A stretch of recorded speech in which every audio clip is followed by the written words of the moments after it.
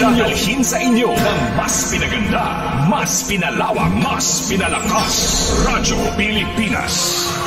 Radyo, Radyo Pilipinas. Radyo Pilipinas Ago, DZAG 97.1 FM.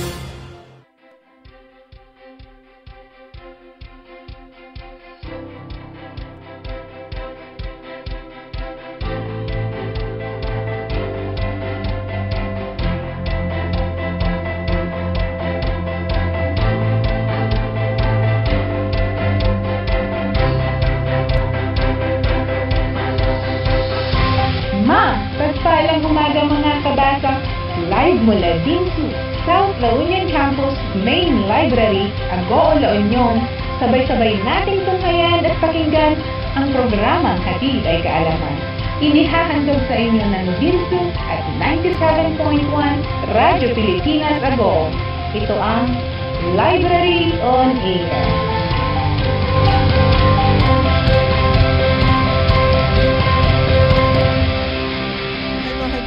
Magandang magandang umaga po sa inyong lahat. Welcome po sa isa na naman pong edisyon ng ating ah, programang Dimsu Library on Air. Ngayon po araw ng ah, Biyernes, November 5, 2021. Ito po ang inyong lingkod, Charity Jimenez sa Frianesa. At ah, special po ang ating edisyon ngayon. At uh, mag-introduce po niyan, ah, walang iba kundi ang aking magiging partner for today, si Madam Nancy Galvan. Good morning, Ma'am. Ah, good morning, Ma'am Charity. And alam po natin na itong month of November, ah, ito kasi yung time na we are celebrating yung National Library of the Philippines ah, in cooperation, ah, in cooperation of the National Library of the Philippines, the National Committee on Library and Information Services of the National Commission for Culture and Arts uh, commemorate Library and Information Services, uh, LIS month, in accordance with Proclamation Number 837, Series of 1991, which declares the entire month of November as Library and Information uh, Services Month. So we are celebrating this time, yung mga different activities natin. Ah, normally kasi ang noong yun, noong old normal, we are really gathering uh, in uh, inter, uh, ano ba yun, parang national conferences. Ah, lahat ng mga librarian, ito yung aming talagang hinihintay ah, na talagang it's uh, every third week of the of the of November ito yung we are having these uh, conferences uh, nationally wherein we celebrate this one. Ito na rin yung time na parang uh, magkikita-kita kami from Luzon to Mindanao. So from different, it, it consists of the four types of the library, which is the acad- uh, academic, school, um, public, and special libraries. And then, under the umbrella, umbrella ito ng Philippine Librarians Association Incorporated. And through this one, uh, we did a different, ano na, yung different regions. Kasi we have at least 13 regions aside from yung mga uh, NCR, CAR, yung nasa Mindanao, mga yan.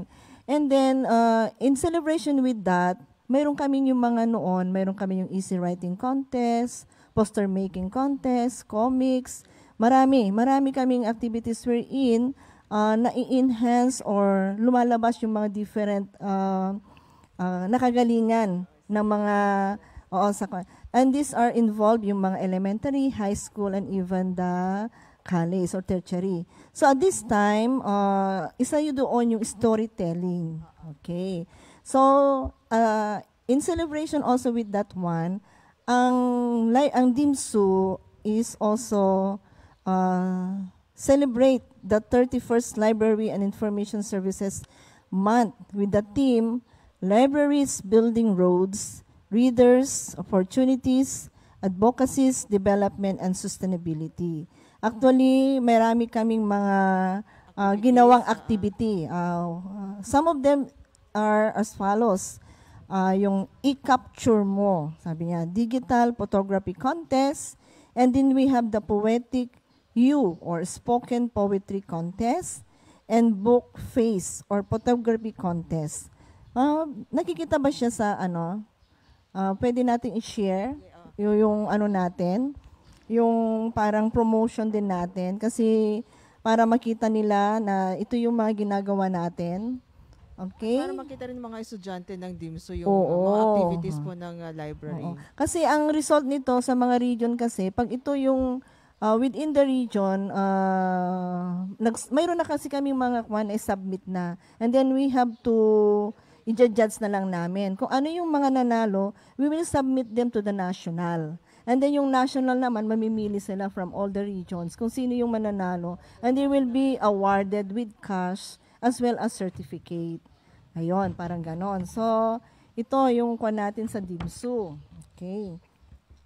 Ayan. And now, today, uh, mayroon tayong isang guest. Kasi ito yung kanyang expertise or line of specialism or expertise sabihin na natin. And ang tagal-tagal nating hinintay itong pagkakataon na ito, Ma'am Charity. Parang yung first month pa po ng uh, DIMSO Library, naka-line up na ito. Oo, panglima na ito na ano, kasi she is really busy.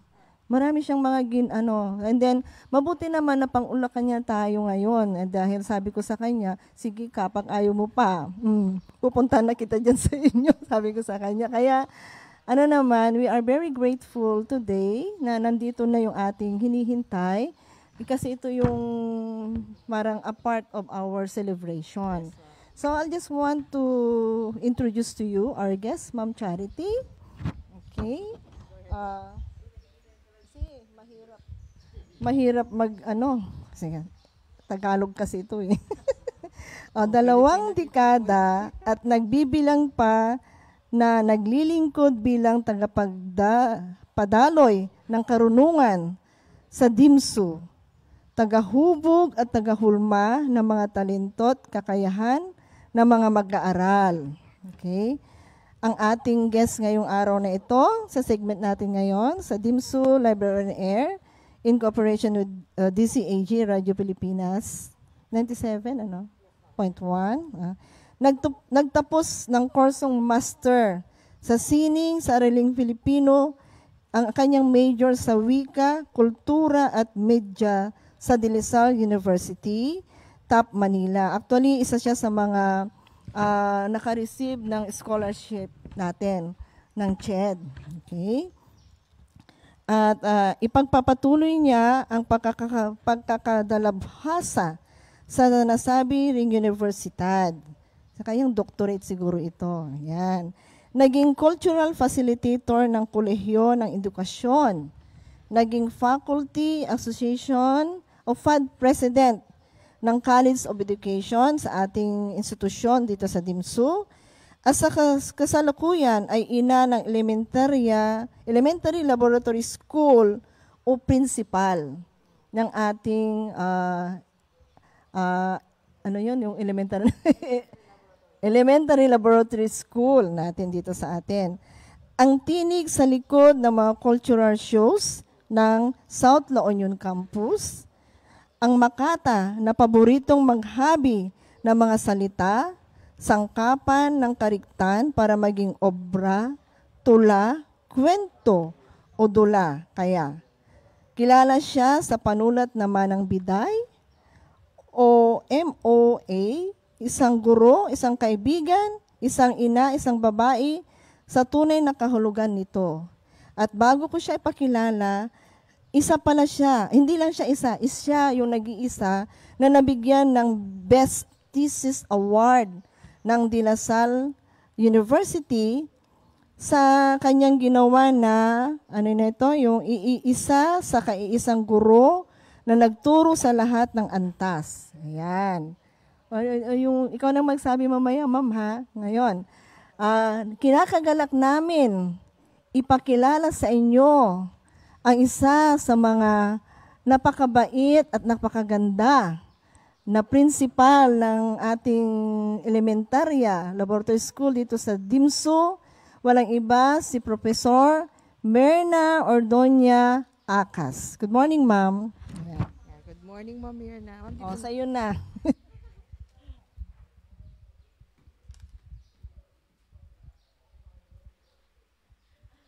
Isang mag Isang magandang umaga at mapagpalang araw, Dimsu. Isang karangalan ang maimbitahan sa pagtitipong ito o kasyong ito ng punong librarian Dr. Nancy Galban at uh, Ma'am Charity Jimenez. Muli, magandang buhay sa ating lahat. Um, isang karangalan na makapagbigay ng kaalaman at makapaghatid uh, ng talento sa larangan ng pagkukwento sa umagang ito. Kailan ba nagsimula ang uh, pagkukwento kay storytelling? Kahit noong unang panahon, sa panahon, pa ng ating mga kanununuan, meron ng pagkukwentong nangyayari sa mga lola, sa kanilang mga apo, ng mga nanay o magulang sa kanilang mga anak. O kung kung inyong narinig o familiar kayo, nung unang panahon, meron na yung kwento ni Lola Basyang. Na kung saan si Lola Basyang ay sumisimbolo sa mga uh, lola na kung saan tuwing um, sasapit ang takip silim, naririyan na na tinatawag na ang mga apo nila para pumasok na sa loob ng kanilang tahanan at marinig ang kanyang kwento. Una muna mag-oorasyon o sama-sama munang magdadasal. Pagkatapos, yan na, nandyan na sila sa paanan ni Lola Basyang para makinig ng kanyang kwento.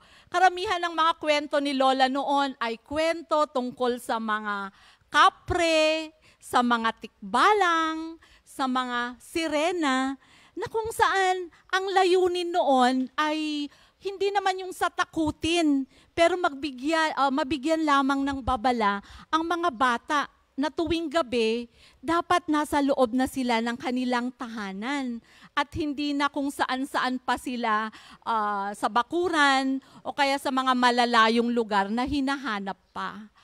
Para, para rin sa kanilang sariling kaligtasan o kaya kapakanan.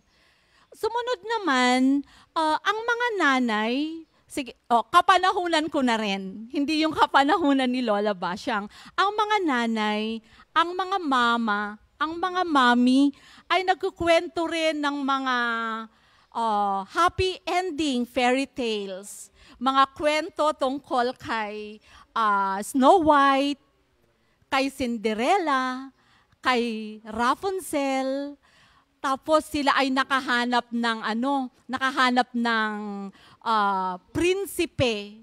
So halimbawa si Cinderella nakahanap ng isang prinsipe na kung saan uh, namuhay sila ng maligaya, natigib o puno ng pagmamahalan.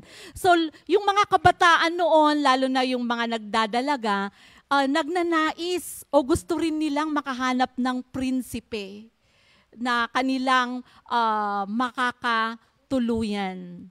So, uh, nagsilbi ang kwento para ang mga kabataan ay mangarap din.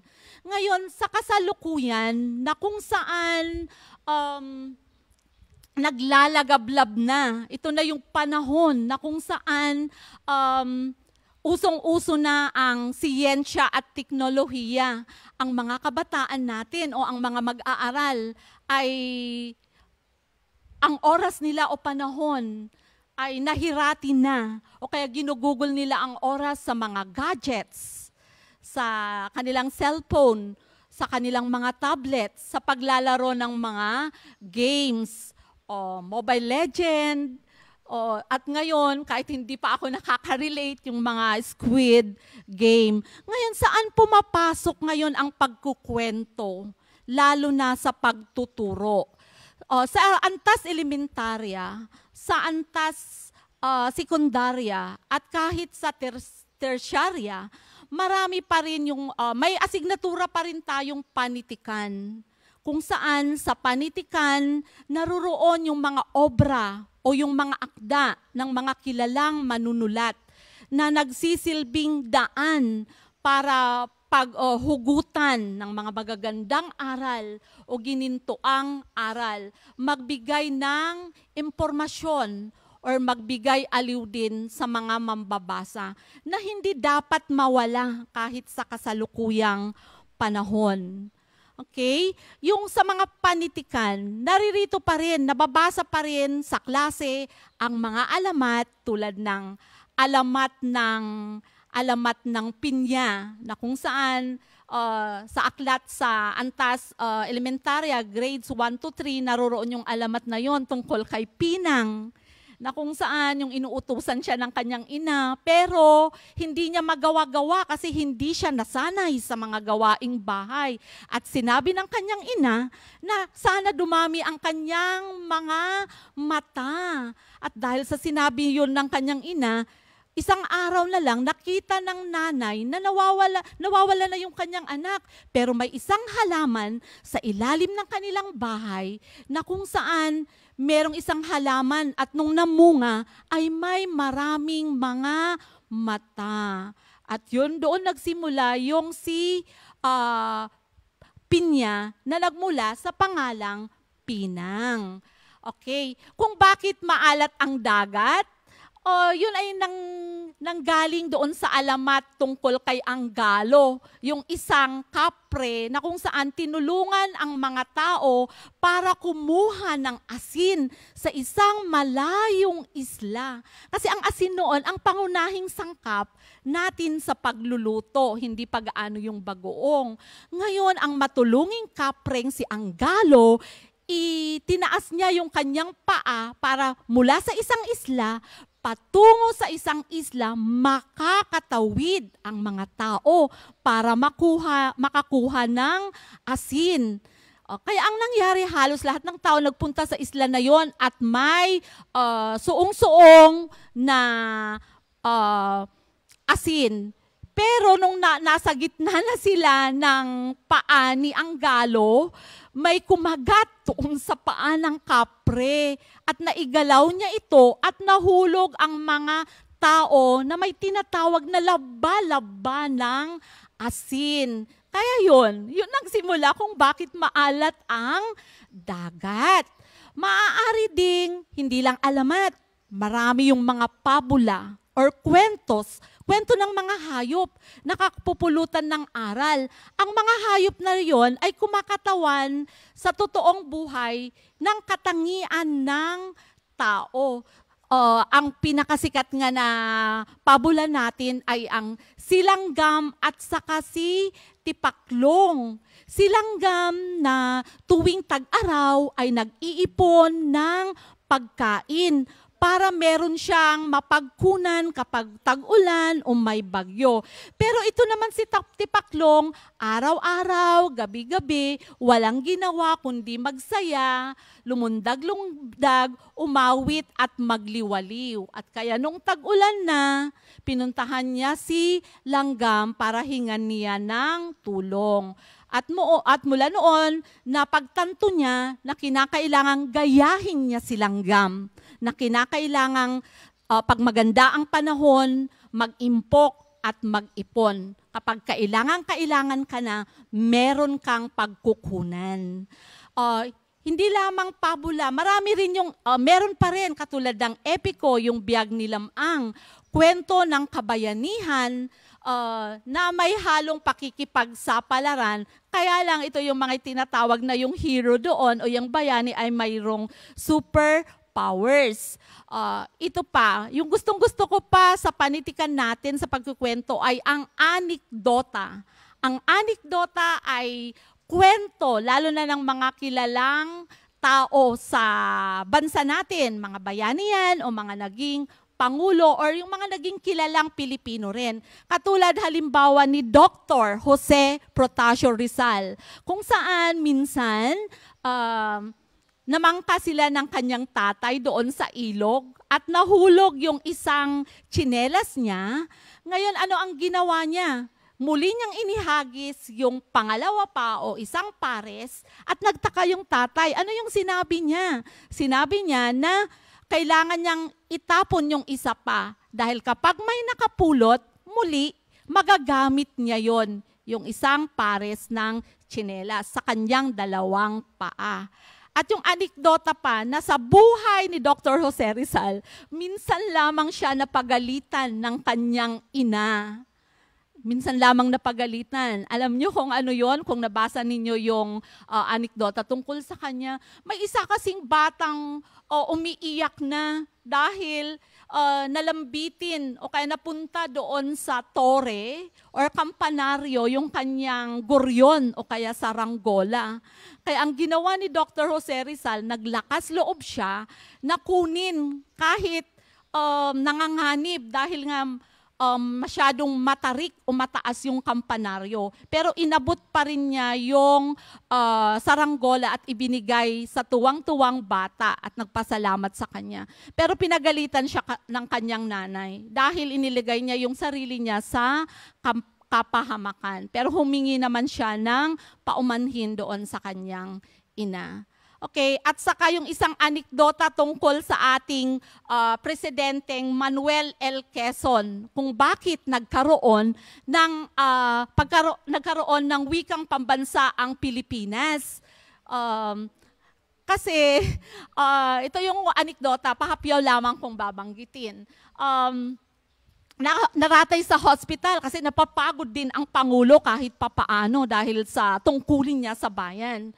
So sinabi niya sa nurse na nagbabantay sa kanya na bawal ang panauhin na pumunta sa kanyang silid pansamantala habang siya ay nagpapalakas. Pero may kumatok doon sa pintuan at pinagbuksan siya ng nurse.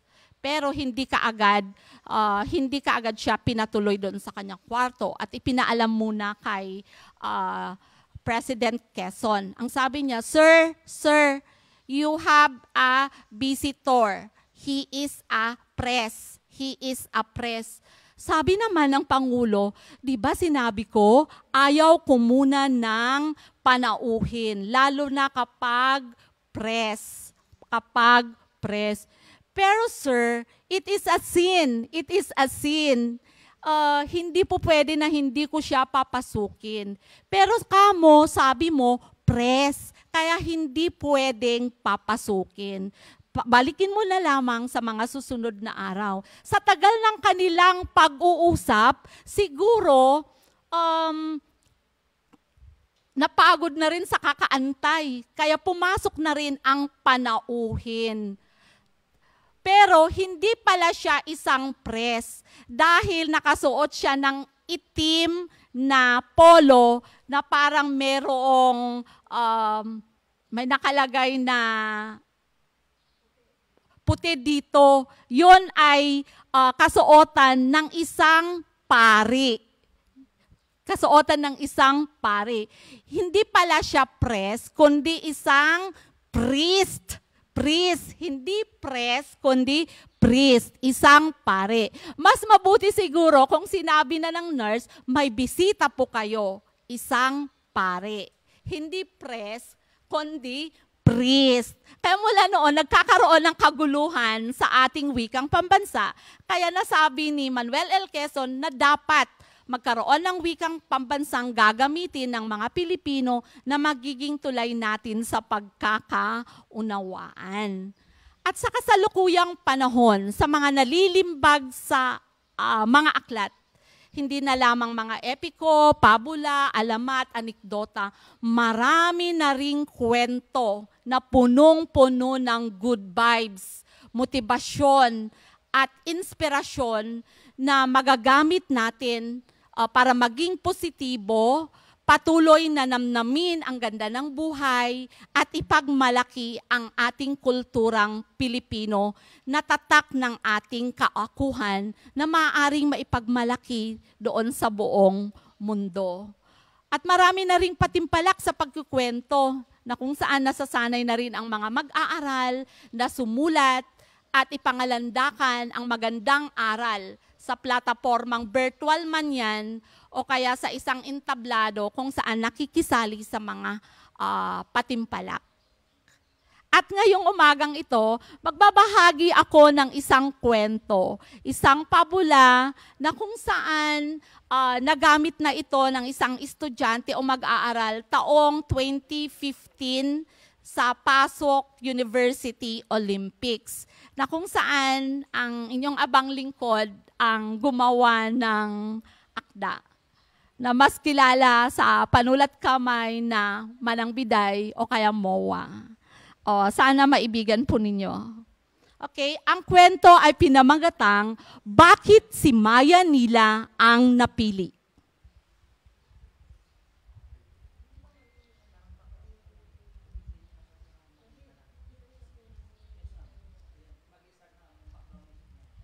Bakit si Maya nila ang napili? Katatapos lang pumili ng bagong hari ng Rimbati Silanya, kagubatan ng Timog Silangang Asya. Tapos na kasi ang panunungkulan ng malakas na silyon at ng matalinong si Kwago. Lahat ng hayop, kulisap at ibon sa gubat ay nagkaisa si Maya nila ang napiling mamumuno sa kanila sa kabila ng kanyang kaliitan.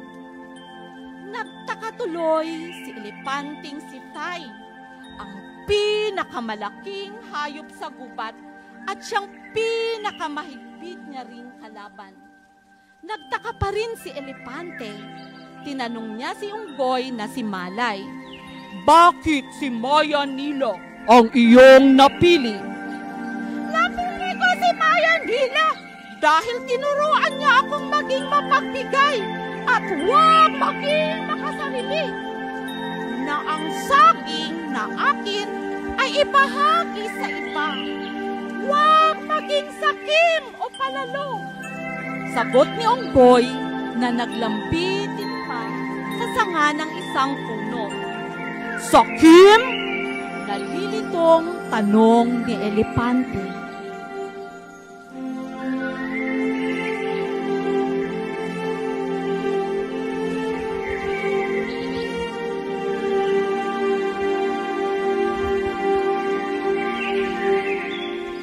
Oo naman, masaya kapag may kaibigan ka at ibahagi kung anong meron ka dahil tayo'y one small happy family.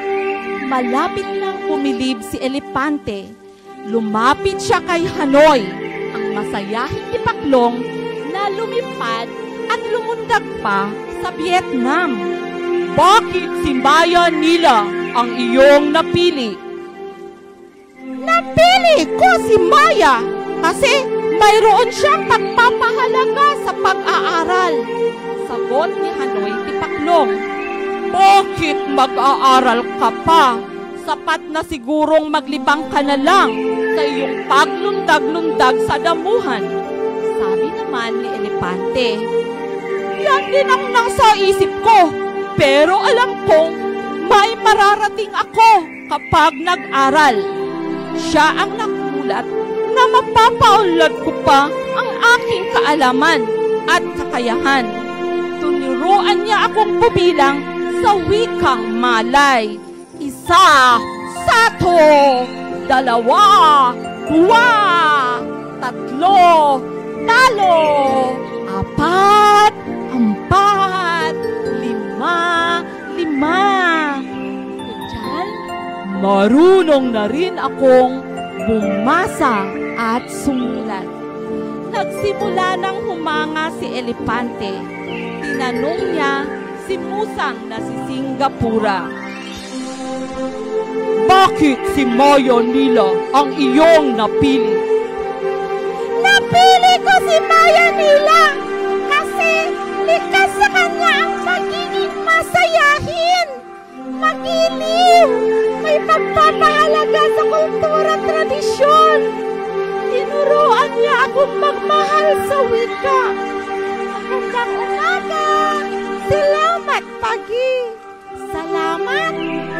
Very makasih. Isa to orang.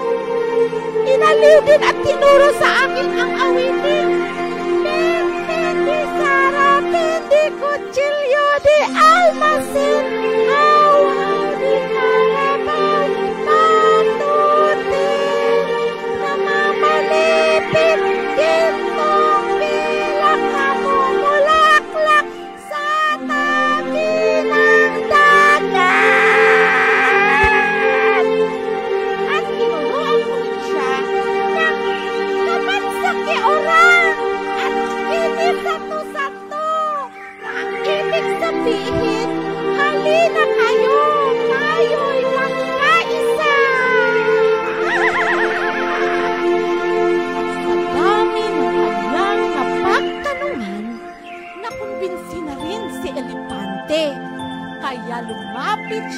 Maya nila at binati niya ito. Kaibigang Maya, Lila, binabati kita. Tunay na ikaw ay karapat dapat na tularan sapagkat ikaw ay isang mabuting nilalang sa kagubatan. Salamat, kaibigang elepante. Lahat tayo ay may magagawa. Kailangan nating magkaisa upang mas maging masaya ang buhay natin dito sa Teselamia. Hindi hadlang ang murang edad o katawan upang gumawa ng kabutihan. Lalong natuwa ang mga hayop at kulisap at ibon sa kagubatan. Hiningan nila ng isang awit si Maya na agad namang nagpaunlak. Tweet, tweet, tweet, tweet. Ako isang ibong marikit. Maliit ako, pero mabait. Bataman ako'y may magagawa. Yan ang tumulong sa aking kapwa. Tweet, tweet, tweet, tweet. Tweet, tweet, tweet, tweet. Mahalin natin ang ating paligid. Mag-aral, maglaro, at umawit. Mas masaya ang buhay kung walang kaaway. Tweet, tweet, tweet, tweet. Tweet, tweet, tweet, tweet. Tweet, tweet, tweet, tweet. At naging maligaya ang buong kaharian ng Rimba Tisilamia.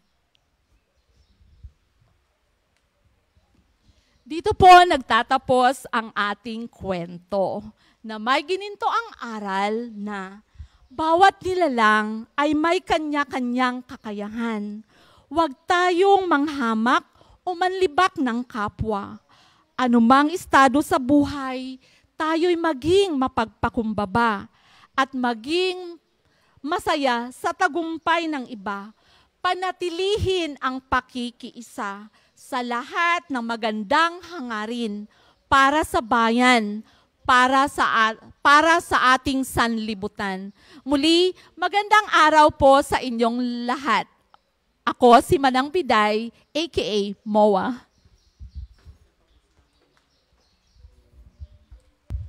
Ayan, napakaganda naman po, Ma'am Mirna. Nakaka, ano eh, ah, kilabot. Tumataas ang aming balahibo habang ikaw ay nagkukwento. Alam ko, napakaganda po nung ah, ibinahagi po ninyo sa amin ngayong umaga. Pero ma'am, bago po, meron po munang ah, i-award si Dr. Nancy po. Salamat, no, Ma'am Charity. Ayan, Ma'am Nancy.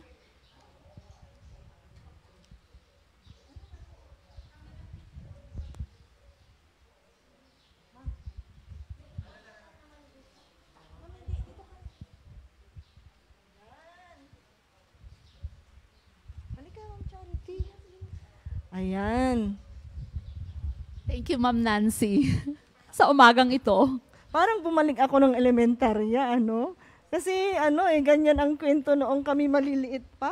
Na talagang, ay, oh, ah, nagustuhan ko talaga dahil yan yung ating, tayo mga Pinoy, ganon tayo. Kasi mahilig tayo talaga sa mga kwentong barbero na sinasabi nila. Yes, Ma'am. Oo, ayan din kasi yung time na yung parang umpukan lang ng mga panahon namin. ng mga panahon namin. eh ngayon wala na eh. Masyado ng advance ngayon ang mga bata ngayon. Marami rin kasing kwento ngayon, ma'am, na yung mga obra kasi hindi namamatay kundi napapanahon. Katulad ng kwento ko, kung lalagyan o sasangkapan mo ng ha- may halong politika, pwede itong magbigay da- de- ah, daan din pag sino ang pipiliin natin sa susunod na eleksyon. Pag sa antas naman ng ter- tertiarya ito. Pag ito yung tatalakayin mo doon sa loob ng silid-aralan. Saka ano, ah, ang mga ganyan kasi na kwento, yun din na form yung mga values natin, doon din na form yung ating mga opinions, Ah, ano ba yung mga dapat natin ah, pahalagahan, lalo na yung mga ganun. Kasi ang bawat kwento kasi, mayroong lesson yan. Mayroon tayong napupulot. Parang ganon, ano. Pero, Sige ma'am, uh, interviewin kita. Baka may sarili kang kwento na pwede nating sulatin din. oo, malapit na akong pag ano. Di ba ginawan mo ako ng love letter nung 60th birthday ko? Acrostic. Yun na. Pero ngayon, uh, I just want to share to you yung ano, dahil uh, si Ma'am Merna, uh, because uh, yung sa kanyang expertise, doon pala nag-umpisa yung ating wikang Pilipino, ano? Kaya pala, ano, yung sa wikang Pilipino natin. Ngayon ko lang nalaman na yung pala yung kwento niya. kung bakit tayo nagkaroon ng wikang Pilipino. Kasi may ano ito, Republic Act, ano? Kung uh, na kailangan gamitin natin ang sarili nating wika. Yes ma'am. Mm. Kasi sabi nga ni Rizal, anong sabi ni Rizal? Ang, ang hindi magmahal sa sariling wika ay higit pa sa amoy ng malansang isda. Oo. Ayan. Kaya kailangan pala natin. Saka alam mo ba, tumaas ang balahibo namin ni Ma'am Charity kanina nung umiiyak. Yung ibon. Saka talagang with all the feelings pala. Ganun palang magkwento, ano? Kailangan talaga. Kaya nga babae yung ibon. Pero kahit sino kasi, kahit sino sa lipunan natin ay may kakayahan din na mamuno. Pero hindi ka agad-agad na huhusgahan natin yung tao na yon o yung leader na yon. So kailangan maging mapanuri rin tayo, obserbahan din yung kanilang mga ginagawa. Saka as a, as a librarian, sabi nga na natin, as, as, as sa academe natin, uh, tayo yung nagbibigay ng tamang impormasyon. Kailangan, uh, yung saliksikin natin lahat yung mga nababasa natin, naririnig natin, kasi minsan, uh, uh, sabi nga natin, ibigay natin yung tamang impormasyon sa ating mga tagapakinig at taga uh, yung nanunood sa atin. Yon sabi nila. Pero salamat, Ma'am Merna, ha? Thank Kasi you, ma'am. talagang sa susunod ulit. Actually, ma'am, ano, hindi ko forte talaga yung pagkukwento. Siguro sa likod, kasi ako lang lagi yung sa likod, tinig. Uh, yung uh, manunulat, pero hindi ako yung magtatanghal. Iba ang magtatanghal at magbibigay buhay doon sa akdang ginawa. So, laging gusto ko lang yung behind the scene. Mm, sa susunod, gagawin natin yung mayroong mga props. Ah, No. Okay. Okay, ngayon, ah, ip- Oo. Ah, ah. Ngayon, ipa i-share lang natin yung ginawa natin din activities ng DIMSU in celebration of the 31st uh, Library and Information Services Month with the theme Libraries, Building Roads, Readers, Opportunities, Advocate, Advocacies, Development, and Sustainability. So ito yung ating mga ginawa. Uh, tingnan nga natin, pwede ba natin ma-highlights? Ayan, yung mga i-capture natin. Kasi actually, we have already, mayroon na tayong mga uh, entries. So, i-judge na lang namin ito. Saka namin, yung kung sino yung mananalo, yun yung ipapadala namin sa national. So, ito kasi Wow. sa region, oo. Ayan, ang una, i-capture mo, i-trig, eh ano nga natin yung sample? Mayroon tayong sample eh, yung mga entries na. Eh, ano natin, para makita nila. Ayan. Kasi Ma'am Merna, nung panahon kasi na pwede pa, meron kami ito yung mga ginagawa nila namin, yung mayroong easy writing contest, may poster making contest, may comics making contest, maganda yung spoken word. Ay, word pala. Magandang Poetry opportunity, contest. ma'am, yan Oo. sa lahat ng mga mag-aaral. Oo. Yung Cheddar Contest. Tapos mayroon pa rin tayong Pinoy Book uh, Character Parade Contest. Kasi ito yung mga time na nagkakaroon kami ng mga seminars, conferences. Actually sana kung hindi lang nag-pandemic, Uh, the last time na pumunta kami is in Tagaytay. So dapat sana sa Mindanao kami ngayon, region. Oo, kasi ganun eh. Sa Luzon, then Mindanao, then Visayas, then Luzon, para ganon. Ang, ang venue ng aming mga conferences kung saan ito ay, ay ginaganap taon-taon. Okay. So ito yung i-capture mo. Ano yung nandoon natin? Na isa i-capture natin.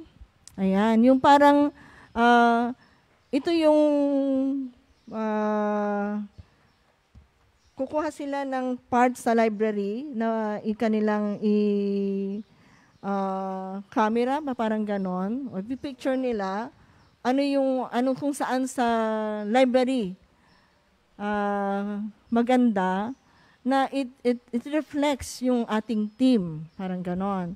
And then we also have the poetic you, o parang yung ginawa mo, na parang ano na, yung parang uh, gagawa sila ng poems uh, regarding sa kanilang, ano ba yung mag, nag, makikita lang kagandahan sa pagpunta nila sa library. Parang ganon. Ano yung parang uh, nagiging inspirasyon nila na pumupunta na sila sa library. Parang ganon yon. And then, ayan, ayan, yun ko natin. So, andyan yung ating uh,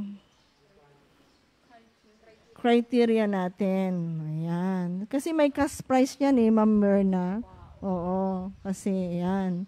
Normally yan sa association namin sa region, uh, we are given um, from the national also na ito yung mga pa namin. So, Pero ma'am, more than the cash prize kasi sa pagsali sa mga contest na yan. Iyan na yung ano, yung magandang oportunidad o karanasan Oo, ma- yung experience nila na pwede nilang magamit kapag ano na rin sila nasa uh, napili na si- nilang profession din just in case lalo na yung mga education students natin. Uh, ano, maganda kasi itong mga ganito kasi parang lumalawak yung hindi ka lang nakatutok ngayon sa gadgets, kundi lumalawak yung pagtingin mo sa paligid, di ba? Uh, na na-appreciate mo yung mga na, na nasa paligid mo. Katulad ng ginawa mong ganyan, kasi ayan, gusto-gusto ko yung mga kwento ni Lola Basyang. Eh. Sabi nga nila. Ayan. Alika, ano, ayan. Ayan. Is, Paborito nga nilang lugar, yung mga estudyante bago ang pandemic, ang library sa kanilang mga My Day o kaya post. Oo, kasi madami talaga. Ayan. And then, yan, yan. Yung book face, sabi nila, i-photography mo, yung book face photography contest, For example, may isang libro. Uh, kailangan i-ano mo din yan. Yung parang i ano yung pangalan doon? Yung parang nandoon ka sa libro na yan. Parang i-ano mo siya. Ayan. College students, parang ganyan. So, siguro, Ma'am Merna, ano, anong message mo? Uh, anong message mo ngayon? Ma'am Charity, halika.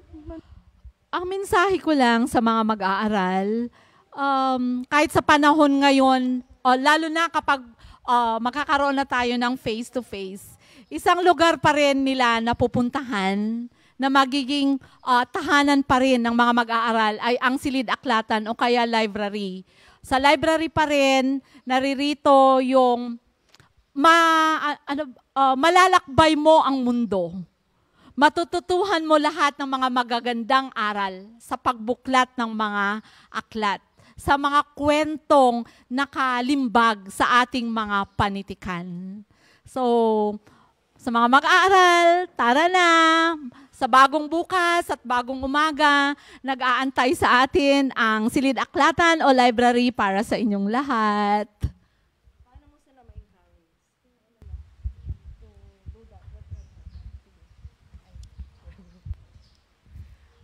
Sabi nga nila, um, hindi pa rin mawawala kahit sa panahon ng ano panahon ng uh, teknolohiya na to marami pa rin sa bawat pahina ng mga aklat ang inyong mga matutuklasan. Kasi original yan na napasok sa mga aklat natin sa mga nakalimbag.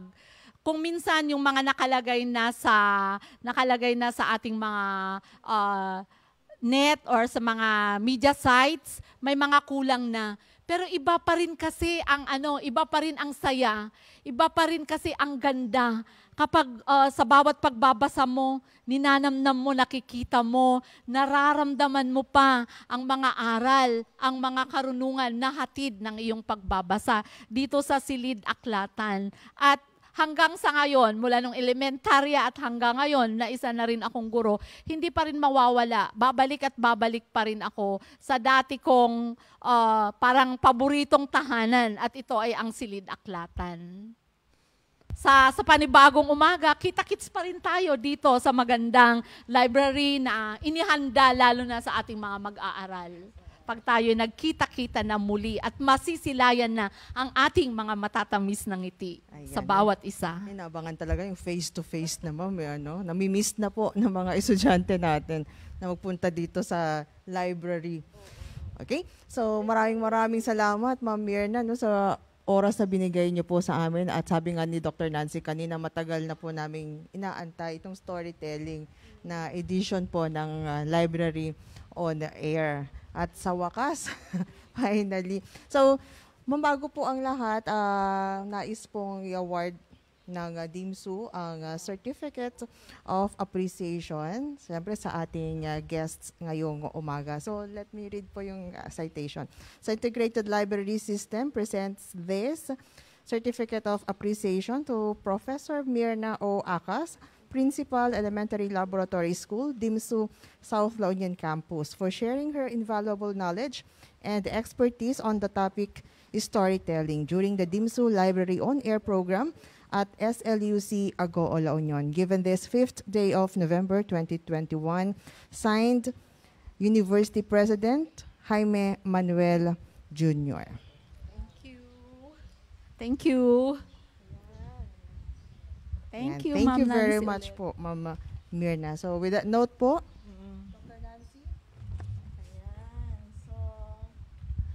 Gusto ko pa sana ng madaming ano, is kwento eh. Gusto ko yung ganun. Alam mo yung... Oo. Ay, gusto ko yung different, isang tao pero different uh, voices, sabi nila, no? Character. Ma'am, ito yung ano, ito yung ano, yung parang original na pagkukwento. Pero meron tayong masining na pagkukwento version. Yun na yung ano, yun na wala, yung may proper-ups na, may acting-acting na. Yun yung ginagawa sa pasok na. Oo, kasi yung mga kwan kasi, hindi ba ali, mayroon pa, madami pa. Hindi pa tapos ang November. madami pa. So, ito, at sa puntong ito, kami po ay pansamantalang magpapaalam at ako muli ang yung kabasa with the team library. Ah, Siyempre, ako yung head. so, in behalf, we would like to acknowledge uh, our University President, Dr. Jaime Ipac Manuel Jr., our Chancellor, Dr. Joan Camus Rivera, as well as our Director for Library Services and Development, Dr. Sonia Siago Isip. Ako po ang iyong kabasa, Nancy Frihiliana Galban, at si Ma'am Merna Akas, ang ating guest ngayon. Isang mapagpalang umaga. At sa ngalan din po ng lahat ng bumubuo ng DZAG, Radyo Pilipinas Agoo, headed by Station Manager Ms. Maricel Fronda. Ito po ang inyong lingkod, Charity Jimenez Frianeza. Nag-iwan na po ng isang magandang umaga sa inyong lahat. God bless everyone. Stay safe and stay healthy. Happy weekend!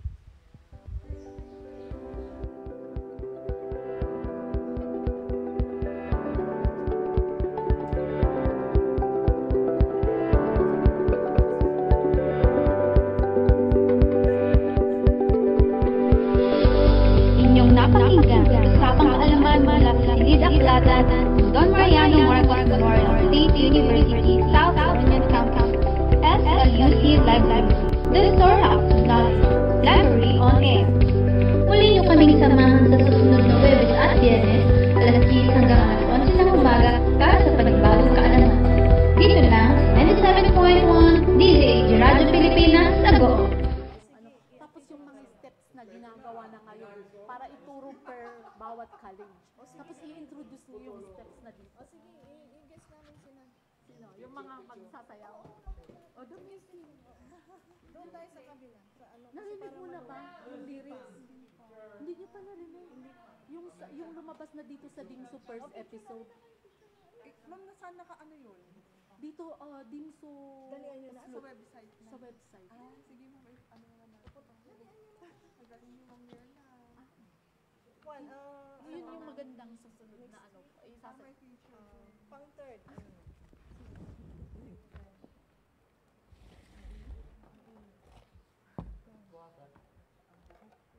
Hindi ka po ha. Yung buhok natin. Alisin niyo yung mga... Nasa harapan. Nasa harapan niya. Alisin niyo yung mga... ano, Mas... Sige na. Wala ka ba din?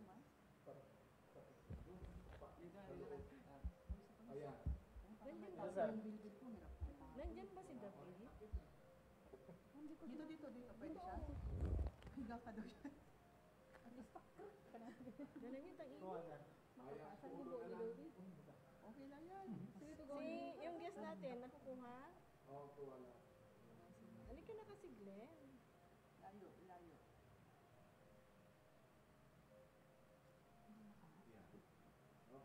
Parang kuha natin. Kumadala kami ay tito.